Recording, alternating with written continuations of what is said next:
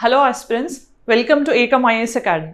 ఈ రోజు మనం వీడియోలో ఏం డిస్కస్ చేస్తున్నాం అనేది మీకు ఇమేజ్ చూస్తే అర్థమయ్యే ఉంటుంది. రీసెంట్గా ఇది ఎందుకు కాంట్రవర్షియల్ అయింది? ఈయన ఎవరు అంటే ఫస్ట్ వెస్ట్ బెంగాల్ గవర్నర్. ఆయనకు సంబంధించి ఏం కాంట్రవర్సీ క్రియేట్ అయింది? అలాంటప్పుడు గవర్నర్కు ఉండే ఇమ్యూనిటీస్ ఏంటి అనేది కూడా డిస్కస్ చేస్తున్నాం. సో ఇది పాలిటీ పాయింట్ ఆఫ్ వ్యూలో చాలా చాలా ఇంపార్టెంట్ మనకు తెలియని విషయాలు తెలిసిన విషయాలు అన్నీ కూడా ఈ వీడియోలో డిస్కస్ చేద్దాం. ఫస్ట్ మీకు దానికంటే ముందు మా సైడ్ నుంచి ఒక మెయిన్ ఇనిషియేటివ్ లాంచ్ చేయబోతున్నాం. ఆ ఇనిషియేటివ్ మీ అందరికీ మీ ఎగ్జామ్స్లో హెల్ప్ అవుతుందని భావిస్తున్నాం. భావిస్తున్నాను దీని గురించి ఇంట్రొడక్షన్ ఇస్తున్నాను ఫస్ట్ ఏంటంటే ఇది యూపీఎస్సి ట్వంటీ ట్వంటీ ఫోర్ రాయాలనుకుంటున్న వాళ్ళందరికీ మోస్ట్ బెనిఫిషియల్ ఇనిషియేటివ్ అనమాట ఎందుకు అంటే ఎగ్జామ్ పాయింట్ ఆఫ్ వ్యూలో అన్ని సబ్జెక్ట్స్ కవర్ చేస్తూ స్టాటిక్ అండ్ కరెంట్ అఫైర్స్ని రెండు లింక్ చేస్తూ మేము సెవెంటీ ఫైవ్ అవర్స్లో మోస్ట్ ఇంపార్టెంట్ ఏరియాస్ అనేవి మీకు ఫ్రీగా లైవ్ క్లాసెస్ రూపంలో ఇస్తున్నాం అనమాట ఇది కంప్లీట్గా ఫ్రీ ఇనిషియేటివ్. అంటే మీరు ఇంట్లో కూర్చుని మీ స్టడీ హాల్లో కూర్చుని యూట్యూబ్ ద్వారా రివిజన్ చేసుకోవచ్చు. సో ఇది main object of the programme. ఇది ఎప్పటి నుంచి స్టార్ట్ అవుతుందంటే రేపు సిక్స్త్ మే నుంచి అంటే మండే నుంచి స్టార్ట్ అవుతుంది. డైలీ ఎయిట్ టు వన్ ఉంటుంది అనమాట class. So eight to one అనేది ఫర్ నెక్స్ట్ ట్వంటీ డేస్ అంటే సిక్స్త్ మే నుంచి ట్వంటీ సిక్స్త్ మే వరకు కూడా every day eight to one అనేది లైవ్ ఉంటుంది. ఇలా డిఫరెంట్ సబ్జెక్ట్స్ అన్నీ కూడా కవర్ అవుతాయి అనమాట సో ఫస్ట్ ఎకానమీ నుంచి తర్వాత environment geography history polity science and technology IR current affairs ఇట్లా డిఫరెంట్ ఫ్యాకల్టీస్ దీన్ని డీల్ చేస్తున్నారు. ఇవన్నీ కూడా మీకు ఎగ్జామినేషన్ పాయింట్ ఆఫ్ వ్యూలో ఉంటుంది. దాని తర్వాత మనం అర్థం చేసుకోవాల్సింది ఏంటి? ఇది ఓన్లీ యూపీఎస్సీ ఆస్పిరెంట్స్కి మాత్రమే కాదు. యూపీఎస్సీ ఇంటెన్షన్ ఆర్ యూపీఎస్సీ ఓరియంటేషన్తో డిస్కస్ చేస్తాం కానీ టీఎస్పీఎస్సీ రాసే వాళ్ళు ఈ కామన్ ఏరియాస్ మీకు ఇవన్నీ కూడా TSPSC group one prelims and group two ప్రిలిమ్స్లో ఉన్నాయి. At the same time APSC group one మెయిన్స్కి పాయింట్ ఆఫ్ వ్యూలో కరెంట్ అఫైర్స్ డైమెన్షన్లో ఇవన్నీ హెల్ప్ఫుల్ అవుతాయి హెల్ప్ఫుల్ అవుతాయి. అట్ ద సేమ్ టైం మనకి రివిజన్ కూడా అవుతుంది. At the same time APSC group two mains ఎవరైతే రాస్తున్నారో వాళ్ళకి ఇక్కడ ఎకానమీ ఎన్వైర్న్మెంట్ తర్వాత పాలిటీ సైన్స్ అండ్ టెక్నాలజీ ఇవన్నీ కూడా మోస్ట్ ఇంపార్టెంట్ సో మీకు ఏది మీ ఎగ్జామ్ మీ రిక్వైర్మెంట్స్కి తగ్గట్టు మీరు దాన్ని చూడొచ్చు. సో ఇది కంప్లీట్లీ ఫ్రీ ఇనిషియేటివ్ ఇది అనౌన్స్ చేశాక ఇప్పుడు ఫర్దర్గా మనం ఏం డిస్కస్ చేయబోతున్నాం ఈ వీడియోలో అంటే అసలు వై న్యూస్ అనేది డిస్కస్ చేద్దాం. తర్వాత ఆర్టికల్ త్రీ సిక్స్టీ వన్ అనేది గవర్నర్కి కానీ ప్రెసిడెంట్కి కానీ ఎట్లాంటి రక్షణలు కల్పిస్తుంది చూద్దాం. దాని తర్వాత అసలు దీని ప్రొవిజన్స్ ఏంటి? ఎలాంటి ప్రొవిజన్స్ ఉన్నాయి? వాళ్ళ పర్పస్ ఎందుకు ఇలాంటి ఆర్టికల్ త్రీ సిక్స్టీ వన్ ఎందుకు ఇస్తున్నారు? అట్ ద సేమ్ టైం దీనికి ఉన్న లిమిటేషన్స్ ఏంటి దాంతోపాటు కళ్యాణ్ సింగ్ కేసు ఏంటి? ఈయన విషయంలో గవర్నర్గా ఉన్నప్పుడు ఏం జరిగిందనే చూద్దాం. దాని తర్వాత Rameshwar Prasad versus union of India case దీంట్లో ఏంటంటే గవర్నర్కు ఉన్న ప్రత్యేక అధికారాలను సుప్రీంకోర్టు ఎంఫసైజ్ చేసింది అనమాట సో ఈ కేసు ఏంటనే చూద్దాం.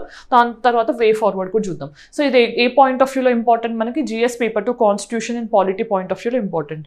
సో ఫస్ట్ అసలు మనం వైఏ న్యూస్ అనేది డిస్కస్ చేస్తే దీంట్లో ఏం జరిగింది? రీసెంట్గా వెస్ట్ బెంగాల్ గవర్నర్గా ఉన్న పర్సన్ మీద సెక్షువల్ హెరాస్మెంట్ ఎలిగేషన్స్ వచ్చాయన్నమాట. అంటే ఒక ఫీమేల్ పర్సన్ ఎవరైతే ఆ రాజ్ భవన్ ప్రిమైసెస్లో వర్క్ చేస్తున్నారో ఆమె ఏం చెప్పారంటే టూ త్రీ టైమ్స్ నన్ను మొలెస్ట్ చేశారు అని చెప్పి ఎలిగేషన్స్ చేయడం జరిగింది. అంటే ఇది ఎలాంటి టైప్ ఆఫ్ కేసు అవుతుంది? ఇది క్రిమినల్ కేసు అవుతుంది. మరి గవర్నర్ ఆఫీస్లో ఉన్నప్పుడు అంటే తన పరిధిలో టర్మ్లో ఉన్నప్పుడు ఇలాంటి క్రిమినల్ ప్రొసీడింగ్స్ ఇనిషియేట్ చేయవచ్చా చేయలేదా అనేది మనం మెయిన్గా డిస్కస్ చేయబోతున్నాం అనమాట సో ఫస్ట్ ఇది మెయిన్ ఇన్స్టెన్స్ సో ఫస్ట్ మనం తెలుసుకోవాల్సింది ఏంటి?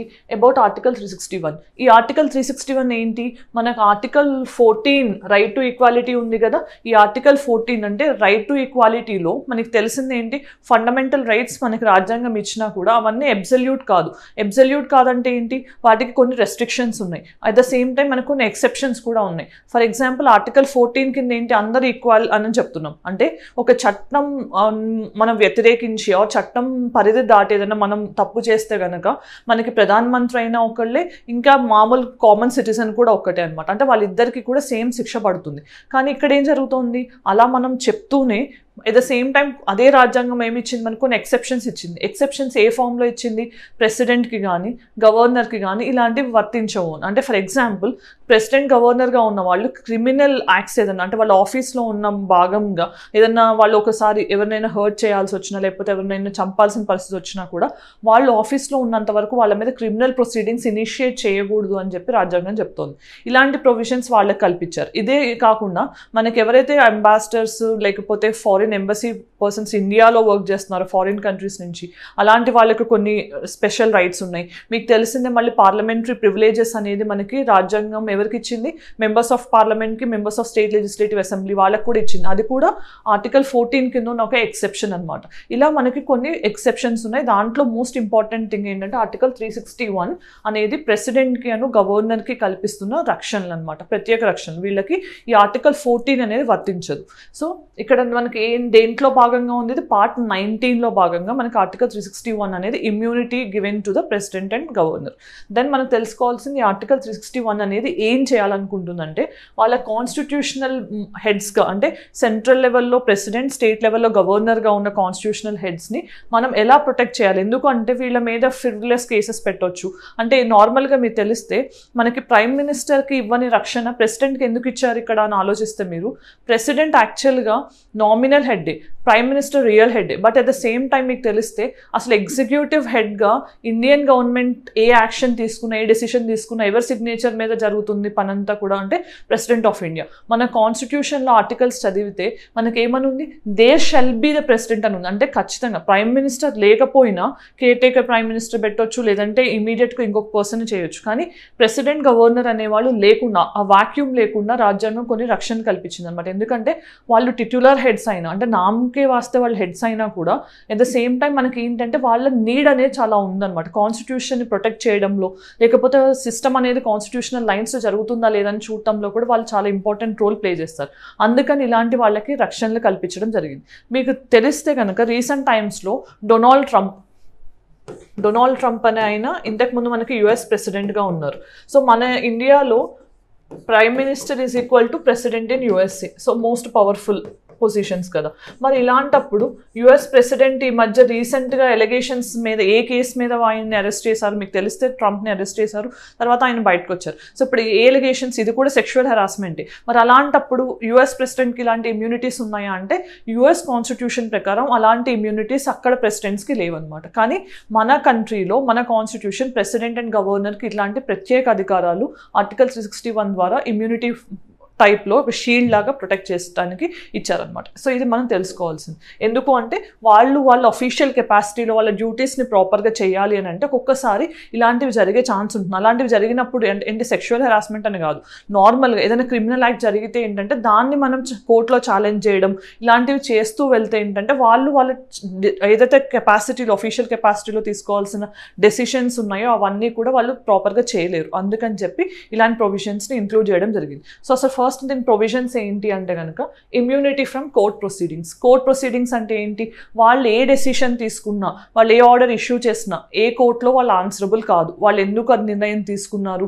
దానికి గల కారణాలు ఏంటి? ఇవన్నీ చెప్పాల్సిన అవసరం లేదు. వాళ్ళు ఎటువంటి పరిస్థితుల్లో కూడా వాళ్ళు అఫీషియల్గా ఆ పోస్ట్లో కొనసాగుతున్నంత వరకు కూడా కోర్టు ముందు వాళ్ళు హాజరుపరచలేము సో అది first thing then immunity from criminal proceedings అంటే ఎలాంటి క్రిమినల్ యాక్ట్ చేసినా కూడా ప్రెసిడెంట్ని గవర్నర్ని మనం అరెస్ట్ చేయలేము ఇంప్రిజన్ చేయలేము. ఎట్ ద సేమ్ టైం మనం తెలుసుకోవాల్సింది ఏంటి? అరెస్ట్ ఇంప్రిజన్మెంట్ కూడా చేయలేము క్రిమినల్ కేసెస్లో కూడా చేయలేము కానీ సివిల్ ప్రొసీడింగ్స్లో సివిల్ ప్రొసీడింగ్స్లో చేయొచ్చా అంటే చేయొచ్చు. కానీ అట్లీస్ట్ టూ మంత్స్ నోటీస్ ఇవ్వాలి. ఇక్కడ మోస్ట్ ఇంపార్టెంట్ థింగ్ ఏంటంటే ఎన్ని మంత్స్ అనేది అడగొచ్చు. సో సివిల్ విషయంలో నోటీస్ ఇవ్వచ్చు. టూ మంత్స్ అడ్వాన్స్ నోటీస్ ఇచ్చి అప్పుడు మనం సివిల్ ప్రొసీడింగ్స్ అనే వాటిని ఇనిషియేట్ చేయొచ్చు.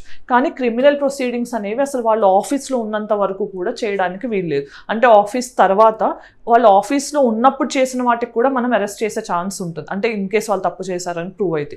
అంటే ఇంతకు ముందు చేసిన వాటికి అంటే ఆ టర్మ్లో చేసిన వాటికి వాళ్ళు పొజిషన్లోంచి దిగిపోయిన తర్వాత మనం పర్సిక్యూట్ చేయొచ్చు వాళ్ళని.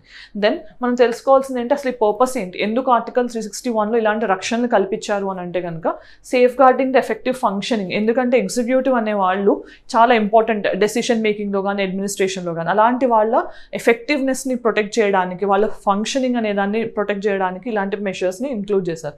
The same time stability and continuity ఉండేలాగా. స్టెబిలిటీ ఇలాంటివి లేకపోతే ఏమవుతుంది? గవర్నర్ మీద క్రిమినల్ ఎలిగేషన్స్ వస్తాయి. ఈజీగా ఎప్పుడైనా కూడా ఏ పొలిటికల్ పొజిషన్లో ఉన్నా మనకి ఇప్పుడు రీసెంట్ టైమ్స్లో మనం చూసాం. కర్ణాటకలో ఒక ఎంపీగా కంటెస్ట్ చేస్తున్న అతని మీద సెక్షువల్ హెరాస్మెంట్ ఛార్జెస్ రావడం వల్ల ఆయన దేశాన్ని వదిలిపెట్టి వెళ్ళాల్సి వచ్చింది. ఇలాంటి పరిస్థితుల్లో మనం తెలుసుకోవాల్సింది ఏంటి? అది నిజమా కాదా అనేది పక్కన పెడితే ఫస్ట్ వాళ్ళకి చాలా డిఫర్మేషన్ అవుతుంది. ప్లస్ కేసెస్ ఇలాంటివి రావడం వల్ల ఎంపీ అంటే మనకి నార్మల్గా ఆయన వల్ల అడ్మినిస్ట్రేషన్ అనేది ఆగకపోవచ్చు.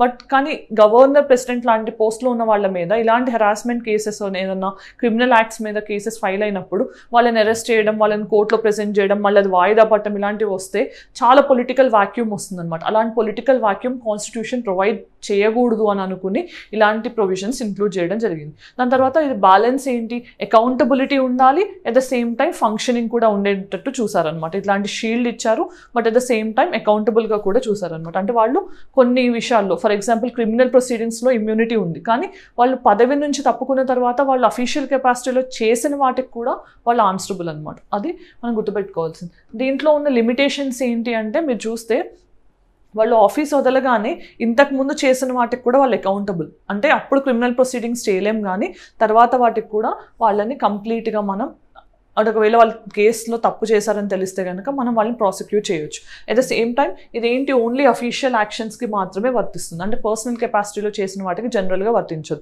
కానీ సివిల్ కేసెస్ ఏవైతే ఉంటాయో వాళ్ళు ఒకవేళ వాళ్ళ అఫీషియల్ కెపాసిటీని దాటి ఏమైనా బిహేవ్ చేసినా కూడా అలాంటప్పుడు సివిల్ కేసెస్ కూడా వాళ్ళ మీద ఫైల్ చేయొచ్చు. ఇది ఇంకోటి గుర్తుపెట్టుకోవాల్సింది. నార్మల్గా క్రిమినల్ యాక్ట్స్ అనేవి వాళ్ళ అఫీషియల్ కెపాసిటీలో చేసిన వాటికి మాత్రమే వర్తిస్తాయి. అట్ ద సేమ్ టైం మనం తెలుసుకోవాల్సింది ఏంటి?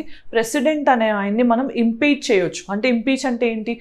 ప్రెసిడెంట్ని ఏ గ్రౌండ్స్ మీద ఇంపీచ్ చేయొచ్చు? ఐదర్ వాళ్ళు కాన్స్టిట్యూషన్ని ప్రాపర్గా ప్రొటెక్ట్ చేయలేదు అని. అంటే మనకి కాన్స్టిట్యూషన్ ఎప్పుడైతే వాళ్ళు అంటే ప్రాపర్ లైన్స్లో జరగట్లేదు కాన్స్టిట్యూషన్ని మనం ఇంపీచ్డ్ ఎప్పుడంటాం వైలేటింగ్ ఆ ప్రొవిజన్స్ని ఫా ప్రాపర్గా ఫాలో అవ్వకుండా బ్రీచ్ చేశారనుకున్నప్పుడు ప్రెసిడెంట్ ఆఫ్ ఇండియాని మనం ఇంపీచ్ చేయొచ్చు. ఎలా అంటే పార్లమెంట్లో మోషన్స్ అనేవి రెజల్యూషన్స్ పాస్ చేసి అప్పుడు చేయొచ్చు. కానీ గవర్నర్కి అలాంటి ప్రొవిజన్స్ లేవు ఇంపీచ్మెంట్ లేదు. గవర్నర్ని తీసేయాలంటే సెంటర్ ఎనీ టైం వాళ్ళ చాయిస్ ప్రకారం తీసేయొచ్చు. సో ఇలా ప్రెసిడెంట్ నార్మల్గా గవర్నర్తో పోలిస్తే ప్రెసిడెంట్ అనే ఆయనకి కొంచెం రిమూవల్ ప్రొసీజర్ అనేది ఉండటం వల్ల అంత ఈజీ ప్రాసెస్ కాదు. కానీ గవర్నర్ విషయంలో ఇలాంటి ఎలిగేషన్స్ వచ్చినప్పుడు నార్మల్గా సెంటర్ ఒకవేళ అది బలమైన కారణం అయితే కనుక ఏం చేస్తారు? గవర్నర్ని షిఫ్ట్ చేస్తారు. ఆర్ గవర్నర్ని తీసేయొచ్చు అనమాట సో అలాంటి ప్రొవిజన్స్ ఇక్కడ గవర్నర్కి వర్తించు దాని తర్వాత మనం తెలుసుకోవాల్సింది కళ్యాణ్ సింగ్ కేసు ఏంటి? ఈ కళ్యాణ్ సింగ్ అని ఆయన యూపీకి చీఫ్ మినిస్టర్గా వర్క్ చేశారు. ఆ తర్వాత ఆయన వెస్ట్ రాజస్థాన్కి గవర్నర్గా కూడా ఫంక్షన్ చేస్తున్న టైంలో ఆయన అఫీషియల్ కెపాసిటీలో గవర్నర్గా రాజస్థాన్కి ఉన్నప్పుడు ఏం జరిగింది అంటే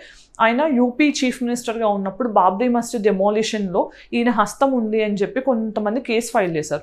కానీ అది ఎప్పుడు వచ్చింది? రాజస్థాన్ గవర్నర్గా ఉన్నప్పుడు వచ్చింది. అప్పుడు సుప్రీంకోర్టు ఏం చెప్పింది? ఆయన అఫీషియల్ కెపాసిటీలో ఉన్నంత వరకు ఆయన మీద క్రిమినల్ ప్రొసీడింగ్స్ అనేవి ఇనిషియేట్ చేయలేరు అని చెప్పింది. ఇది ఒక వన్ ఆఫ్ ద ఇన్స్టెన్స్ ఇంతకుముందు ఇట్లా గవర్నర్ మీద ఎలిగేషన్స్ అనేవి క్రిమినల్ ఆస్పెక్ట్స్లో రావడం. దాని తర్వాత ఇలాంటి ఎలిగేషన్స్ వచ్చాయా అంటే వచ్చాయి. ఎవరి మీద వచ్చాయి? మేఘాలయ గవర్నర్గా ఉన్న షణ్ముగ్నాథం మీద వచ్చాయి. సెక్షువల్ హెరాస్మెంటే అండ్ మీ అందరికీ తెలిసిందే ఎన్డీ తివారీ గారు ఆంధ్రప్రదేశ్ గవర్నర్గా ఉన్న ఆయన మీద కూడా ఇలాంటి సెక్షువల్ హెరాస్మెంట్ ఎలిగేషన్సే వచ్చాయి. అలాంటప్పుడు వాళ్ళు ఏం చేస్తారు నార్మల్గా వాళ్ళంతా వాళ్ళే తప్పుకుంటారు. లేదంటే కనుక సెంటర్ తప్పిస్తారు. ఓకే ఈ రెండు ఇన్స్టెన్సెస్ ఇంతకు ముందు జరిగాయి. ఇక్కడ మరి Rameshwar Prasad versus union of India కేసులో సుప్రీంకోర్టు ఏం చెప్పింది అంటే గవర్నర్ ఎప్పుడైనా కూడా కంప్లీట్ ప్రొటెక్షన్ ఉంది. ఆయన పర్సనల్ అఫీషియల్ కెపాసిటీలో చేసే నిర్ణయాలకు కానీ తీసుకునే డెసిషన్స్ కానీ లేకపోతే ఇంప్లిమెంట్ చేసే యాక్షన్స్కి క్రిమినల్ యాక్షన్స్ జరిగినా కూడా వాటికి కంప్లీట్ ప్రొటెక్షన్ ఉంది అని చెప్పింది. అట్ ద సేమ్ టైం మళ్ళీ ఏం చెప్తున్నారు? గవర్నర్స్ అనేవాళ్ళు ఎటువంటి కోర్ట్స్కి ఆన్సరబుల్ కాదు. వాళ్ళు ఏ కెపాసిటీలో డెసిషన్స్ తీసుకున్నా కూడా వాళ్ళు ఆన్సరబుల్ కాదు. ఆ టర్మ్లో వాళ్ళు ఉన్నంత వరకు. అంటే టర్మ్ తర్వాత వాళ్ళు ఒకవేళ ఏదైనా డెసిషన్ రాంగ్ అయితే కనుక అప్పుడు మనం వాళ్ళని కోర్టులో ప్రొసీడింగ్స్ని ముందు నిలబెట్టొచ్చు అనమాట ఇది Rameshwar Prasad versus union of India కేసులో చెప్పింది. మరి దీనికి కన్క్లూషన్ ఏంటి? మనం వే ఫార్వర్డ్గా ఏం సజెస్ట్ చేయొచ్చు అంటే ఇలాంటప్పుడు మనకి అకౌంటబిలిటీ ఉండాలి at the same time governance కూడా ఉండాలి. అంటే గవర్నెన్స్ ప్యారల్గా జరుగుతూ ఉండాలి. ద సేమ్ టైం గవర్స్ గవర్నర్ సైడ్ నుంచి అకౌంటబిలిటీ అనేది కూడా చాలా ఇంపార్టెంట్ అనమాట అందుకని మనకేం ఎప్పుడూ కూడా ఈ రెండింటి బ్యాలెన్స్ అనేది ఉండేలా చూసుకోవాలన్నమాట. అంటే గవర్నర్స్కి ఇమ్యూనిటీ ఉండటం ఇంపార్టెంటే but at the same time ఇలాంటి ఇంటెన్సీ ఇంటెన్సిటీ ఉన్న ఇన్సిడెంట్స్ అయినా జరిగితే అప్పుడు అకౌంటబిలిటీ ఉండేలాగా కూడా చూడాలి. లేకపోతే పవర్ అనే దాన్ని మిస్యూజ్ కూడా చేస్తారు. అబ్జల్యూట్ పవర్ కరప్ట్స్ మీకు తెలిసింది. సో ఇలాంటివి జరుగుతాయి. నిన్న ఇచ్చిన వీడియో క్వశ్చన్ ఏంటి? Which of the following is correct with respect to section five clause one of Hindu marriage act nineteen fifty five దీంట్లో ఆన్సర్ ఏంటి ఇక్కడ? హిందూ మ్యారేజ్ యాక్ట్ ప్రకారం ఏది ప్రాపర్ ఎసెన్షియల్ అంటే కనుక ఇద్దరికి లవ్ లివింగ్ స్పౌస్ అనే వాళ్ళు ఉండకూడదు అనమాట అంటే భార్యాభర్తలు ఇద్దరికి కూడా ఆల్రెడీ పెళ్ళై ఉండకూడదు. అలా ఉంటే కనుక అది హిందూ మ్యారేజ్గా వ్యాలిడ్ అవ్వదు. దెన్ ఈ రోజు క్వశ్చన్ చూద్దాం. సో ఇక్కడ ఏంటంటే అసర్షన్ అండ్ రీజనింగ్ ఇచ్చారు. Article three hundred of the constitution has specifically remove distinction between sovereign and non sovereign functions with respect to government's liability for taught in India ఇది కొంచెం tricky క్వశ్చనే but try చేయండి. లేకపోతే నేను next వీడియోలో నేను explain చేస్తాను. రీజన్లో ఏంటంటే government is liable for taught which is the result of non sovereign function so ఇది వీటిల్లో ఏ కరెక్టా ఆర్ కరెక్టా రెండింటికి కరెక్ట్ అయితే కనుక అది ప్రాపర్ ఎక్స్ప్లెనేషన్ కాదా అనేది ఏ ఆప్షన్ కరెక్ట్ అనేది మీరు కామెంట్ సెక్షన్లో చెప్పండి. దాని తర్వాత మెయిన్స్ క్వశ్చన్ చూద్దాం.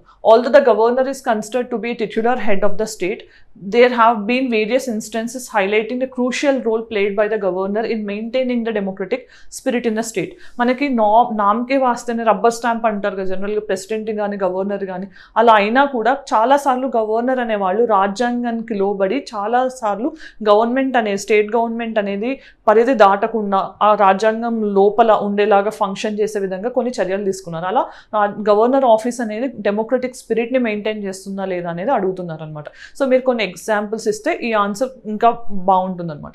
దెన్ ఈరోజు మనం వీడియో ఎండింగ్లో వచ్చేసాం కాబట్టి వీడియోలో ఏం డిస్కస్ చేసాం? వెస్ట్ బెంగాల్ గవర్నర్ మీద వచ్చిన ప్రెయిన్ ఎలిగేషన్స్ ఏంటి అనేది చూసాం. దాంతోపాటు ఇలాంటి సిచ్యువేషన్స్లో వాళ్ళకు ఉన్న ఇమ్యూనిటీస్ ఏంటి? అది ఆర్టికల్ త్రీ సిక్స్టీ వన్లో ఎలా ఇచ్చారు? ఎలాంటి ఇమ్యూనిటీస్ ఉన్నాయి. అట్ ద సేమ్ టైం దానికి ఉన్న లిమిటేషన్స్ ఏంటి? ఇంతకుముందు ఇలాంటివి ఏమన్నా జరిగాయా? దాంతోపాటు రామేశ్వర్ ప్రసాద్ కేసులో సుప్రీంకోర్టు ఏం చెప్పింది? ఇవన్నీ కూడా ఈ వీడియోలో డిస్కస్ చేయడం జరిగింది. మీకు ఈ వీడియో నచ్చితే ఆన్సర్ మీ కామెంట్ సెక్షన్లో చెప్పండి. Thank you for watching have a great day